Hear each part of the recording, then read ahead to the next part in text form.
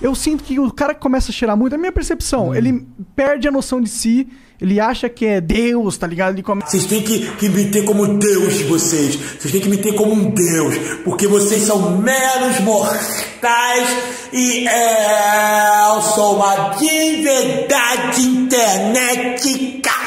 começa a fazer merda, a ficar muito egoísta. Menos é isso que eu vejo. Uma pessoa diferente de todo mundo. Eu sou uma pessoa única. Eu sou uma pessoa verdadeira. Eu faço o que eu quero. Eu sou diferente de vocês. Eu sou livre. Eu tenho liberdade. E vocês não.